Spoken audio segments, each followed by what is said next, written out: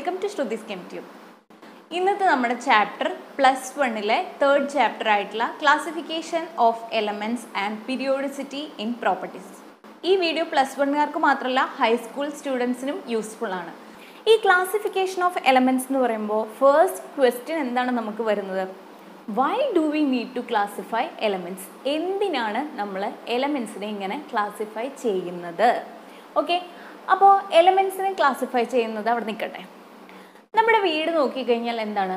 നമ്മുടെ വീട്ടിൽ separate separate കുറേ റൂംസ് ഉണ്ട് അല്ലേ? കുക്ക് ചെയ്യാനൊക്കെ വേണ്ടിയിട്ട് നമുക്ക് കിച്ചൺ അല്ലെങ്കിൽ അടുക്കളയുണ്ട്. ഈ കിച്ചൺ നോക്കിക്കഴിഞ്ഞാൽ നമ്മൾ എന്താണ്? കിച്ചണിലാണ് നമ്മൾ അരി പഞ്ചസാര ചായപ്പൊടി പരിപ്പ് പയർ അങ്ങനത്തെ സാധനങ്ങളൊക്കെ കിച്ചണിലുള്ള അലമാരയിലാണ് വെക്കുന്നത്. ഓക്കെ കിച്ചൺ കബേർഡ്സിലാണ് നമ്മൾ വെക്കുന്നത്. ഇനി നമ്മൾ നമ്മുടെ ബുക്സ് പെൻ അതുപോലെയുള്ള സാധനങ്ങളൊക്കെ എവിടെയാണ് വെക്കുന്നത്? സ്റ്റഡി ടേബിൾ അല്ലെങ്കിൽ സ്റ്റഡി റൂമിലാണ് വെക്കുന്നത്. നമ്മുടെ ഡ്രസ്സും തോർത്ത് അങ്ങനെയുള്ള സാധനങ്ങളൊക്കെ നമ്മൾ എവിടെയാണ് വെക്കുന്നത്? നമ്മുടെ ബെഡ്റൂമിൽ ഒരു വാർഡ്രോബ് ഉണ്ടാവും ഒരു അലമാര ഉണ്ടാവും. ആ അലമാരയിലാണ് വെക്കുന്നത് ഓക്കെ? ചില ആൾക്കാരെ നോക്കിക്കഴിഞ്ഞാൽ വെൽ ഓർഗനൈസ്ഡ് ആണ്. ചില ആൾക്കാരുടെ വീട്ടിലൊക്കെ പോയി കഴിഞ്ഞാൽ കാണാൻ പറ്റും. എന്താണ് ഇപ്പോഴത്തെ ഒരു ട്രെൻഡാണ് നമ്മുടെ കിച്ചണിലൊക്കെ പോയി കഴിഞ്ഞാൽ എന്താണ്? എല്ലാത്തിന്റെയും പേരെഴുതി പ്രത്യേകം പ്രത്യേകം വെക്കും. ഇപ്പോൾ പഞ്ചസാര ചായപ്പൊടി കാപ്പിപ്പൊടി എന്നൊക്കെ എഴുതി ഒരു അലമാരയുടെ ഒരു സൈഡിൽ വെച്ചിട്ടുണ്ടാവും. പരിപ്പ് ചെറുപയർ അങ്ങനെയുള്ള സാധനങ്ങളൊക്കെ വേറെ വേറെ വെച്ചിട്ടുണ്ടാവും. അതുപോലെ സ്പൂൺസൊക്കെ ഒരു സ്റ്റാൻഡിൽ ഒരു ഇതിലിട്ട് വെച്ചിട്ടുണ്ടാവും. ഗ്ലാസ് വേറൊരു സ്റ്റാൻഡിൽ വെച്ചിട്ടുണ്ടാവും. പ്ലേറ്റ്സ് ഒക്കെ വേറൊരു സ്റ്റാൻഡിൽ വൃത്തിയായിട്ട് നീറ്റായിട്ട് വെച്ചിട്ടുണ്ടാവും. അപ്പോൾ വേറെ ആൾ നമ്മുടെ വീട്ടിൽ വന്നാൽ ഒരു കുഴപ്പമില്ല അയാൾക്ക് കണ്ടുപിടിക്കാൻ ഒരു ബുദ്ധിമുട്ടില്ല. പെട്ടെന്ന് തന്നെ എന്ത് ചെയ്യാൻ പറ്റും? എല്ലാം കൃത്യം കൃത്യം സ്ഥലത്ത് പേരെഴുതി വെച്ചിട്ടുണ്ടെങ്കിൽ എന്താണ്? ഒരു ബുദ്ധിമുട്ടില്ല കൃത്യമായിട്ട് പോയി പഞ്ചസാര എവിടെ ഇരിക്കണം എന്നുള്ളത് പൊസിഷൻ അറിയാൻ പറ്റും. നമ്മൾ പോയി പഞ്ചസാര എടുക്കും. അതുപോലെ ചായപ്പൊടിയുടെ സ്ഥലം എവിടെയാണെന്നറിയാം. അരി ഇരിക്കുന്ന സ്ഥലം എവിടെയാണെന്നറിയാം. ഇതൊന്നും അറിയാൻ ഒരു ബുദ്ധിമുട്ടുമില്ല. ഓക്കെ? അതുപോലെ തന്നെ ഇപ്പം നമ്മൾ ഒന്നും ഓർഗനൈസ്ഡ് അല്ലാത്തൊരു വീടാണെന്ന് വിചാരിക്കുക. നമ്മൾ പഠിക്കുന്ന കുട്ടികളുടെ കാര്യം തന്നെ നോക്കാം. നമ്മളെന്താ നമ്മുടെ ബുക്സ് ഒക്കെ എടുത്ത് ബെഡ്റൂമിന്റെ കട്ടിലിന്റെ അടിയിലും അതുപോലെ തന്നെ ബെഡ്റൂമിലെ അലമാരയിലും ഒക്കെ കൊണ്ടുവച്ചു. നമ്മുടെ യൂണിഫോം ഒക്കെ കൂടിയിട്ട് നമ്മുടെ സ്റ്റഡി ടേബിളിന്റെ പുറത്ത് കൊണ്ടുവച്ചു. അതുപോലെ നമ്മുടെ ഷൂസ് എന്ന് പറഞ്ഞു കഴിഞ്ഞാൽ ഷൂ അല്ലാതെ എവിടേക്കോ കൊണ്ടേ താഴെ ഇട്ടു അങ്ങനെയൊക്കെ ആകുമ്പോൾ നമ്മൾ രാവിലെ എണീറ്റു. നമുക്ക് എട്ട് മണിക്ക് സ്കൂളിൽ പോകണം എട്ട് മണിക്ക് സ്കൂളിൽ പോകണം എന്നുണ്ടെങ്കിൽ നമ്മൾ രാവിലെ എണീറ്റിട്ട് എന്താണ്? എട്ട് മണിക്ക് സ്കൂളിൽ പോകണം എന്നുണ്ടെങ്കിൽ നമ്മൾ എണീക്കുന്നത് എപ്പോഴായിരിക്കും? ഏഴ് മണി സമയത്തായിരിക്കും അല്ലേ? ഈ ഏഴ് മണിക്ക് എണീറ്റ് നമ്മൾ തപ്പാണ് യൂണിഫോം എവിടെയാണെന്നറിയില്ല ബുക്സ് എവിടെയാണെന്നറിയില്ല ടൈം ടേബിൾ പോലും കാണാനില്ല. അങ്ങനെയാണെന്നുണ്ടെങ്കിൽ എന്താണ്? നമ്മൾ എട്ട് മണിക്ക് സ്കൂളിൽ പോകാൻ ഇറങ്ങില്ല. അതുപോലെ തന്നെ ഒമ്പത് മണിക്ക് സ്കൂളിൽ എത്തണം എന്നുണ്ടെങ്കിൽ ആ ഒമ്പത് മണി സമയത്ത് നമ്മൾ സ്കൂളിൽ എത്തില്ല. മിക്കവാറും എത്തുന്നത് ഉച്ചയ്ക്കായിരിക്കും. ഓക്കെ? അപ്പോൾ ഈ ക്ലാസിഫിക്കേഷൻ എന്ന് പറയുന്ന സാധനത്തിന് നമ്മുടെ ലൈഫിലും ഒരുപാട് ഇമ്പോർട്ടൻസ് ഉണ്ട്. ഓക്കെ? പിന്നെ ഈ ക്ലാസിഫിക്കേഷൻ കൊണ്ട് എന്താണ് ഗുണം? ക്ലാസിഫിക്കേഷൻ എന്ന് പറഞ്ഞെങ്കിൽ ഇങ്ങനെ ഒട്ടും ഓർഗനൈസ്ഡ് അല്ല ക്ലാസിഫൈ ചെയ്തിട്ടില്ല എല്ലാം തോന്നിയ പോലെ തോന്നിയ സ്ഥലത്ത് ഇട്ട് വെച്ച് കഴിഞ്ഞാൽ എന്താണ്? നമുക്ക് ഒരുപാട് സമയം വേസ്റ്റ് ചെയ്യും അല്ലേ? ഈ ക്ലാസിഫിക്കേഷൻ എന്ന് പറഞ്ഞു കഴിഞ്ഞാൽ ശരിക്കും നമ്മുടെ ലൈഫ് കുറച്ചും കൂടി ഈസിയർ ആക്കുകയാണ് ചെയ്യണത് അല്ലേ? അതുപോലെ തന്നെയാണ് നമ്മുടെ കെമിസ്ട്രിയിലെ എലമെൻസിന്റെ കാര്യം. ഇപ്പോൾ നോക്കുകയാണെങ്കിൽ ടോട്ടൽ വൺ എയ്റ്റീൻ എലമെൻസ് ഉണ്ട്. ഓക്കെ ഈ വൺ എയ്റ്റീൻ എലമെൻസിനെ നമ്മൾ സെപ്പറേറ്റ് സെപ്പറേറ്റ് പഠിക്കുന്ന കാര്യം ഒന്ന് ആലോചിച്ച് നോക്കൂ. കാർബണിനെ എടുത്ത് പഠിച്ചു ഹൈഡ്രജനെ എടുത്ത് പ്രത്യേകം പഠിച്ചു ഹീലിയത്തിനെ പ്രത്യേകം പഠിച്ചു. അങ്ങനെ ഓരോ എലമെൻസിനെ എടുത്ത് പ്രത്യേകം പ്രത്യേകം പഠിച്ചു കഴിഞ്ഞാൽ നമുക്ക് ഈ ലൈഫ് മതിയാവില്ല അല്ലേ? ഇത് പഠിക്കാൻ. അല്ലെങ്കിൽ ഇത്രയും ക്ലാസിഫൈ ചെയ്തിട്ട് തന്നെ നമുക്ക് എന്താണ് ഈ ലൈഫ് പോരാൻ തോന്നാറില്ലേ പഠിക്കുമ്പോൾ അപ്പോൾ ഇത്രയും എലമെൻസിനെ സെപ്പറേറ്റ് പഠിക്കുന്ന കാര്യം ആലോചിക്കാനേ വയ്യ അല്ലേ? അതുകൊണ്ട് തന്നെയാണ് ക്ലാസിഫിക്കേഷന് ഇത്രയധികം ഇമ്പോർട്ടൻസ് വരുന്നത്. ഓക്കെ ക്ലാസിഫിക്കേഷൻ എല്ലാ കാര്യങ്ങളെയും അതായത് നമ്മുടെ ലൈഫ് മാത്രമല്ല എല്ലാ കാര്യങ്ങളും ഈസിയർ ആക്കാൻ വേണ്ടി ഹെൽപ്ഫുള്ളാണ് അപ്പോൾ നമുക്ക് നോക്കാം classification of elements and periodicity in properties early attempts അല്ലെങ്കിൽ attempts of classification of elements എലമെൻസിനെ classify ചെയ്യാൻ വേണ്ടിയിട്ട് ഒരുപാട് സയന്റിസ്റ്റ് മുന്നോട്ട് വന്നിട്ടുണ്ട്. പക്ഷെ നമ്മൾ അതിൽ കുറച്ച് പേരുടെ പേര് മാത്രമേ എടുത്തു പറയുന്നുള്ളൂ. ഏറ്റവും നല്ല കോൺട്രിബ്യൂഷൻസ് ചെയ്തവരുടെ പേരാണ് നമ്മൾ പഠിക്കുന്നത്. അവരുടെ കോൺട്രിബ്യൂഷൻസ് ആണ് നമ്മൾ പഠിക്കുന്നത്. ഇപ്പോൾ നമ്മളിപ്പോൾ എന്താ ഒരു സ്റ്റോറി പറയുന്ന പോലെ നമുക്കിത് പറയാം. ഓക്കെ ഇപ്പോൾ നമ്മളൊരു എന്താ പറയുക ഇപ്പോൾ ഹിമാലയം അല്ലെങ്കിൽ നമ്മളൊരു എവറസ്റ്റ് കീഴടക്കാൻ പോവാണ്. അപ്പോൾ എവറസ്റ്റ് കീഴടക്കാൻ പോകാന്ന് പറയുമ്പോൾ എന്താണ്? ഒരുപാട് പേര് ട്രൈ ചെയ്യും അല്ലേ? കുറച്ച് പേര് കുറച്ചൊക്കെ ക്ലൈംബ് ചെയ്ത് കഴിയുമ്പോൾ എന്താണ്? അവരുടെ ആരോഗ്യസ്ഥിതി ചിലപ്പോൾ ശരിയാവില്ല. അപ്പോൾ അവരെന്ത് ചെയ്യും? അവിടെ വെച്ച് നിർത്തും തിരിച്ചു പോരും.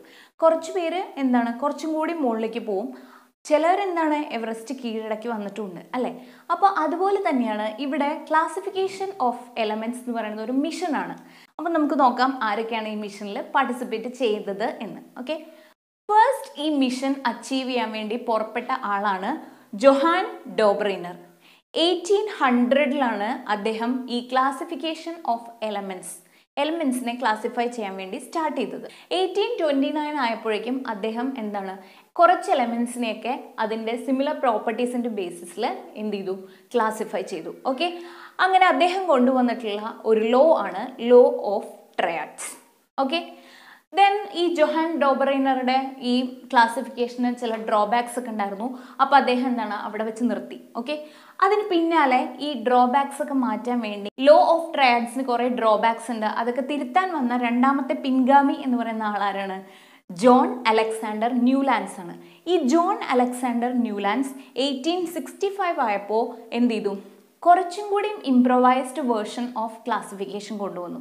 ആ ക്ലാസിഫിക്കേഷൻ അല്ലെങ്കിൽ അദ്ദേഹം കൊണ്ടുവന്ന ലോ ആണ് law of octaves okay then അതിന് പിന്നാലെ വന്ന ആൾക്കാരാണ് ദിമിത്രി മെന്റലീഫ് ആൻഡ് ലോതർ മേയർ. ഈ ദിമിത്രി മെന്റലീഫും ലോതർ മേയറും എയ്റ്റീൻ സിക്സ്റ്റി നയനിലാണ് എന്ത് ചെയ്തത്? ഈ ക്ലാസിഫിക്കേഷനൊക്കെ ചെയ്തത്. ക്ലാസിഫിക്കേഷൻ ഓഫ് എലമെന്റ്സ് ചെയ്തത്. പക്ഷേ എന്താണ്? ഇവർ ഇൻഡിപെൻഡന്റ്ലി ആണ് ചെയ്തത്. ഓക്കെ അങ്ങനെ ദിമിത്രി മെന്റലീഫും ലോതർ മേയറും എന്ത് ചെയ്തു? ഒരു പീരിയോഡിക് ലോ എന്ന് പറയുന്ന ഒരു ലോ പ്രപ്പോസ് ചെയ്തു. ഓക്കെ? പക്ഷേ ഈ ലോതർ മേയർ പീരിയോഡിക് ലോ ആദ്യം തന്നെ കൊണ്ടുവന്നെങ്കിൽ പോലും ഇദ്ദേഹത്തിന് എന്ത് ചെയ്യാൻ പറ്റില്ല? അത് പബ്ലിഷ് ചെയ്യാൻ പറ്റില്ല. പക്ഷേ ആദ്യമായിട്ട് ഈ പീരിയോഡിക് ലോ പബ്ലിഷ് ചെയ്ത ആളാരാണ്? ദിമിത്രി മെന്റലീഫാണ്. അതുപോലെ തന്നെ ആദ്യമായിട്ട് ഒരു പീരിയോഡിക് ടേബിൾ എന്ന് പറയുന്ന ഒരു ആശയം കൊണ്ടുവന്നത് ആരാണ്? ദിമിത്രി മെന്റലീഫാണ്. So Dmitri മെന്റലീഫ് is known as father of modern periodic table okay ഇദ്ദേഹത്തിന് കാലക്കേട്. ഇപ്പം ഇദ്ദേഹമാണ് ലോധർ മേയറാണ് ആദ്യം തന്നെ ചെയ്തെങ്കിൽ കൂടി എന്താണ്? തലയിൽ വര ശരിയാവണം. അത് തലയിൽ വരച്ചത് ആർക്കായിരുന്നു? ദിമിത്രി മെന്റലീഫിനായിരുന്നു. അപ്പോ ഈ ഡിസ്കവറി ഓഫ് പീരിയോഡിക് ടേബിൾ അല്ലെങ്കിൽ ഡെവലപ്മെന്റ് ഓഫ് പീരിയോഡിക് ടേബിൾ എന്ന് പറയുന്ന ആ ക്രെഡിറ്റ് ആരടിച്ചുകൊണ്ട് പോയി? ദിമിത്രി മെന്റലീഫ് അടിച്ചുകൊണ്ട് പോയി. ഓക്കെ ദെൻ ഈ ദിമിത്രി മെന്റലീഫ് അതായത് ജോഹാൻ ഡോബ്രൈനറും ജോൺ അലക്സാണ്ടർ ന്യൂലാൻസും ദിമിത്രി മെന്റലീഫ് ആൻഡ് ലോധർ മേയർ. ഇത്രയും പേര് ക്ലാസിഫൈ ചെയ്തത് അറ്റോമിക് വെയ്റ്റിന്റെ ബേസിസിലായിരുന്നു ഓക്കെ ഇത്രയും പേര് എലമെന്റ്സിനെ ക്ലാസിഫൈ ചെയ്തത് ഇൻക്രീസിങ് ഓർഡർ ഓഫ് അറ്റോമിക് വെയ്റ്റിന്റെ ബേസിസിലായിരുന്നു അതുകൊണ്ട് തന്നെ ഈ ക്ലാസിഫിക്കേഷന് കുറച്ച് ഡ്രോബാക്സ് ഉണ്ടായിരുന്നു. ഓക്കെ ഈ ഡ്രോബാക്സ് മറികടക്കാൻ വേണ്ടി ഹെൽപ്പ് ചെയ്ത ആളാണ് Henry Moseley. Henry Moseley nineteen ട്വൽവിൽ പറഞ്ഞു ഇല്ല നിങ്ങൾ ചെയ്തത് ശരിയല്ല. അറ്റോമിക് വെയ്റ്റിന്റെ ബേസിസിൽ ക്ലാസിഫൈ ചെയ്ത് കഴിഞ്ഞാൽ കുറേ പ്രശ്നങ്ങളുണ്ട്. അപ്പോൾ നിങ്ങൾ എന്ത് ചെയ്ത് നോക്കൂ? അറ്റോമിക് നമ്പറിന്റെ ബേസിസിൽ എലമെൻസിനെ ഒന്ന് ക്ലാസിഫൈ ചെയ്ത് നോക്കൂ എന്ന് പറഞ്ഞു. എന്നിട്ട് അറ്റോമിക് നമ്പറിന്റെ ബേസിസിൽ ക്ലാസിഫൈ ചെയ്തിട്ടാണ് ഇപ്പോൾ ഉള്ള long form of periodic table നമുക്ക് കിട്ടിയത്. First one Johann Dobereiner eighteen twenty nine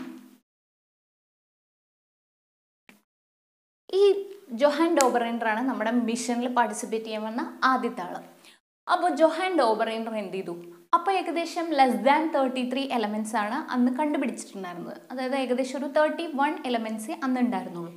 അദ്ദേഹം എല്ലാ എലമെന്റ്സിനെയും ഒബ്സർവ് ചെയ്തു. ഒബ്സർവ് ചെയ്തപ്പോൾ മനസ്സിലായി. മൂന്നെണ്ണം മൂന്നെണ്ണം വീതം എന്താണ്? സിമിലർ പ്രോപ്പർട്ടീസ് കാണിക്കുന്നുണ്ട്. മൂന്നെണ്ണത്തിന് എടുത്തു കഴിഞ്ഞപ്പോൾ എന്താണ്? അത് സിമിലർ പ്രോപ്പർട്ടീസ് കാണിക്കുന്നുണ്ട്. വേറൊരു ഗ്രൂപ്പ് ഓഫ് ത്രീ എടുത്തപ്പോൾ എന്താണ്? അത് സിമിലർ പ്രോപ്പർട്ടി കാണിക്കുന്നുണ്ട്. വേറൊരു ഗ്രൂപ്പ് ഓഫ് ത്രീ എടുത്തപ്പോൾ എന്താണ്? അതും സിമിലർ പ്രോപ്പർട്ടീസ് കാണിക്കുന്നുണ്ട്. അപ്പോൾ സിമിലർ പ്രോപ്പർട്ടീസ് കാണിക്കുന്ന അതായത് similar chemical and physical properties കാണിക്കുന്ന മൂന്ന് എലമെൻസിനെ എന്താക്കി അദ്ദേഹം? ഒരു ഗ്രൂപ്പാക്കി ഓക്കെ അങ്ങനെ ഡിഫറെന്റ് ഗ്രൂപ്പ്സ് കിട്ടി. മൂന്ന് എലമെൻസ് ഉള്ള ഡിഫറെന്റ് ഗ്രൂപ്പ്സ് കിട്ടി. ഇതിനെ അദ്ദേഹം എന്താണ് വിളിച്ചത്? ട്രയാഡ്സ് എന്ന് വിളിച്ചു. ഈ മൂന്ന് എലമെൻസ് ഉള്ള ഓരോ ഗ്രൂപ്പിനെയും അദ്ദേഹം ട്രയാഡ്സ് എന്ന് വിളിച്ചു. ഓക്കെ ആദ്യം ഈ ഒരു ട്രയാഡ് എടുക്കാം. ഇതൊരു ട്രയാഡാണ് ലിഥിയം സോഡിയം ആൻഡ് പൊട്ടാസ്യം ലിഥിയത്തിന്റെ അറ്റോമിക് മാസ് സെവൻ സോഡിയത്തിന്റെ atomic mass twenty three പൊട്ടാസ്യത്തിന്റെ atomic mass thirty nine okay എന്നിട്ട് അദ്ദേഹം കണ്ടു ഇവിടെ ലിഥിയം എന്ന് പറയുന്നത് ഫസ്റ്റ് എലമെന്റ് ആണ് ഈ ട്രയാഡിലെ അല്ലേ? പൊട്ടാസ്യം എന്ന് പറയുന്നത് തേർഡ് എലമെന്റ് ഓഫ് ദി ട്രയാഡാണ് അതിന്റെ നടുക്ക് നിൽക്കുന്ന ആളാരാണ് സോഡിയമാണ് സോഡിയത്തിന്റെ അറ്റോമിക് മാസ് എത്രയാണ്? ട്വന്റി ത്രീ ആണ്. ഈ ട്വന്റി ത്രീ എന്ന് പറയുന്നത് എന്താണ്? ഈ ഫസ്റ്റ് എലമെന്റിന്റെയും തേർഡ് എലമെന്റിന്റെയും അറ്റോമിക് മാസിന്റെ ആവറേജ് ആണെന്ന് അദ്ദേഹം നോട്ടീസ് ചെയ്തു. അതായത് തേർട്ടി നയൻ പ്ലസ് സെവൻ എത്രയാണ്? Forty six forty six divided by two എത്ര കിട്ടും? Twenty three okay so he noticed that atomic mass of middle element is the approximate average of atomic masses of first and third element of the triad okay ഇവിടെ നോക്കാം. Calcium and barium calcium and barium കാൽസ്യത്തിന്റെ forty ബേരിയത്തിന്റെ one thirty seven one thirty seven plus forty എത്ര കിട്ടും? One seventy seven one seventy seven divided by two എത്ര കിട്ടും?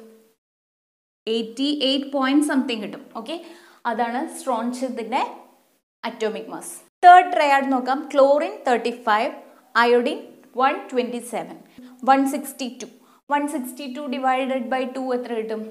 Eighty something കിട്ടും. അതായത് eighty one കിട്ടും. അത് അപ്രോക്സിമേറ്റ്ലി ഈക്വൽ ടു എയ്റ്റി ആണ്. ഈ ഒരു റിലേഷൻഷിപ്പിനെ ബേസ് ചെയ്തിട്ട് അദ്ദേഹം ഫോർവേഡ് ചെയ്ത ഒരു ലോ ആണ് law of triads law of triad states that when elements are arranged in the increasing order of atomic mass then the atomic mass of middle element is approximately the average of atomic masses of first and third element of the triad ഇത് കൂടാതെ അദ്ദേഹം ഒരു കാര്യം കൂടി notice ചെയ്തു എന്താണത് property of middle element properties of middle element is in between the properties of first and third element of the triad അതായത് ഈ രണ്ടെണ്ണത്തിന്റെയും ഇന്റർമീഡിയറ്റ് അല്ലെങ്കിൽ മീഡിയം ആയിട്ട് അല്ലെങ്കിൽ മിഡിലിൽ കിടക്കുന്ന പ്രോപ്പർട്ടീസാണ് ഈ ഒരു എലമെന്റിന് ഉണ്ടാവുക പക്ഷേ ജൊഹാൻ ഡോബറൈനറുടെ ക്ലാസിഫിക്കേഷൻ അല്ലെങ്കിൽ ലോ ഓഫ് ട്രയാഡ്സ് അതല്ലെങ്കിൽ ട്രയാഡ്സിന്റെ ക്ലാസിഫിക്കേഷൻ എന്ന് പറയുന്നത് കുറച്ച് എലമെൻസിന്റെ കേസിൽ മാത്രമേ വർക്ക് ചെയ്തുള്ളൂ.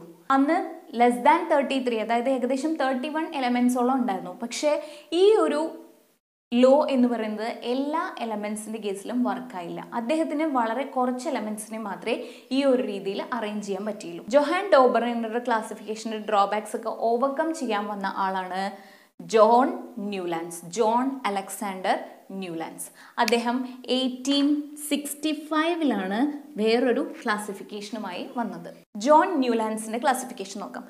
ഇദ്ദേഹം എങ്ങനെയാണ് അറേഞ്ച് ചെയ്തത്? Increasing order of atomic weight elements with similar properties are arranged in the increasing order of atomic mass ഇയാളെന്ന് പറഞ്ഞെങ്കിൽ ഒരു മ്യൂസിക് ലവറായിരുന്നു അപ്പോൾ നമുക്ക് ഒരു പാട്ട് ഇഷ്ടമാണെന്നുണ്ടെങ്കിൽ നമ്മൾ എല്ലാത്തിലും പാട്ട് കണ്ടെത്തും. അല്ലേ? നമുക്ക് ഡാൻസ് ഇഷ്ടമാണെന്നുണ്ടെങ്കിൽ നമ്മൾ എന്ത് കിട്ടിയാലും ഡാൻസ് കളിക്കും.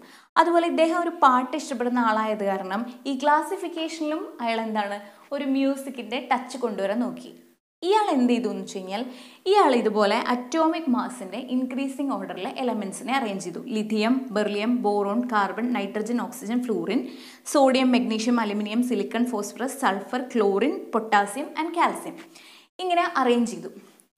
ഇങ്ങനെ അറേഞ്ച് ചെയ്തപ്പോൾ അദ്ദേഹം നോട്ടീസ് ചെയ്ത കാര്യം എന്താണെന്ന് വെച്ച് കഴിഞ്ഞാൽ ഇവിടെ ലിഥിയം ഫസ്റ്റ് എലമെന്റ് ആണ് അല്ലേ?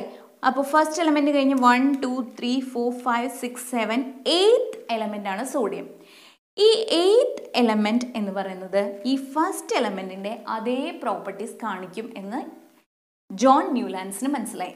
അതുപോലെ ബെറിയ ബെറിലിയം എന്ന് പറയുന്നത് എന്താണ്? ഫസ്റ്റ് എലമെന്റ് ആയിട്ട് എടുത്താൽ ഇത് കഴിഞ്ഞ് വരുന്ന എയ്ത്ത് എലമെന്റ് എന്താണ്? മെഗ്നീഷ്യം അപ്പോൾ മെഗ്നീഷ്യവും ബെറിലിയവും സിമിലർ പ്രോപ്പർട്ടീസ് കാണിക്കും. ബോറോണും അലുമിനിയം എന്താണ്? സിമിലർ പ്രോപ്പർട്ടീസ് കാണിക്കും. കാർബൺ ഫസ്റ്റ് എലമെന്റ് ആയി എടുത്താൽ എയ്ത്ത് ആയിട്ട് വരുന്നത് സിലിക്കണോ അപ്പോൾ കാർബണും സിൽക്കണും സിമിലർ പ്രോപ്പർട്ടീസ് കാണിക്കും. അപ്പോൾ ഓരോ എയ്ത്ത് എലമെന്റും എന്ത് ചെയ്യും? ഫസ്റ്റ് എലമെന്റിന്റെ പ്രോപ്പർട്ടി കാണിക്കുമെന്ന് ഇദ്ദേഹത്തിന് മനസ്സിലായി. ഈ പ്രോപ്പർട്ടി എന്ന് പറഞ്ഞു കഴിഞ്ഞാൽ എന്തിനോട് സിമിലർ ആണ്? നമ്മുടെ മ്യൂസിക്കിൽ സ റി ഗ മ പ ധ നീ സ ഉണ്ട് അല്ലേ? അപ്പോൾ സ റി ഗ മ പ ധ നീ പിന്നെ വരുന്നത് എന്താണ്? എയ്ത്ത് ആയിട്ട് വരുന്നത് സ ആണ്. ഈ സ എന്ന് പറയുന്ന ഫസ്റ്റ് വൺ എയ്ത്ത് നോട്ട് ആകുമ്പോഴേക്കും വീണ്ടും റിപ്പീറ്റ് ചെയ്ത് വരികയാണ്. ഓക്കെ ഇങ്ങനെ റിപ്പീറ്റ് ചെയ്ത് എയ്ത്ത് ആയിട്ട് റിപ്പീറ്റ് ചെയ്ത് വരുന്നതിനെ പറയുന്ന പേരാണ് ഒക്ടേവസ് ലാറ്റിൻ ഭാഷയാണ്. ഈ ലാറ്റിനിലെ ഒക്ടേവസ് എന്ന് പറഞ്ഞു കഴിഞ്ഞാൽ എയ്ത്ത് ആണ്. അതുകൊണ്ടാണ് മ്യൂസിക്കിൽ ആ നോട്ട്സിനെ ഒക്ടേവ്സ് എന്ന് പറയുന്നത്. അപ്പം മ്യൂസിക്കിലെ ഒക്ടേവ്സിനോട് സിമിലർ ആണ് ഈ ക്ലാസിഫിക്കേഷൻ അതുകൊണ്ട് അദ്ദേഹം ഈ ഒരു റിലേഷൻഷിപ്പിനെ അല്ലെങ്കിൽ ഈ ഒരു ഡിസ്കവറിയെ എന്താണ് പറയുന്നത്? ലോ ഓഫ് ഒക്ടേവ്സ് എന്നാണ് പറയുന്നത്. Newlands law of octaves Newlands law of octaves states that when elements are arranged in the increasing order of atomic mass every eighth element has the property similar to that of first element okay ഓരോ എട്ടാമത്തെ എലമെന്റും എന്ത് ചെയ്യും? ഒന്നാമത്തെ first എലമെന്റിന്റെ properties repeat ചെയ്യും. Okay അതാണ് law of octaves പക്ഷേ ന്യൂലാൻഡ്സ് ലോ ഓഫ് ഒക്ടീവ്സിനും എന്താണ്? ഡ്രോബാക്സ് ഉണ്ടായിരുന്നു.